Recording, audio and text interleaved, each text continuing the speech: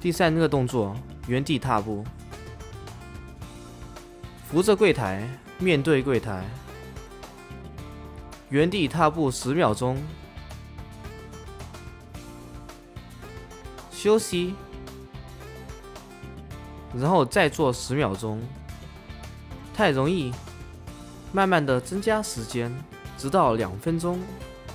把膝盖抬高点，但是不要撞到柜台。慢慢的扫扶柜台。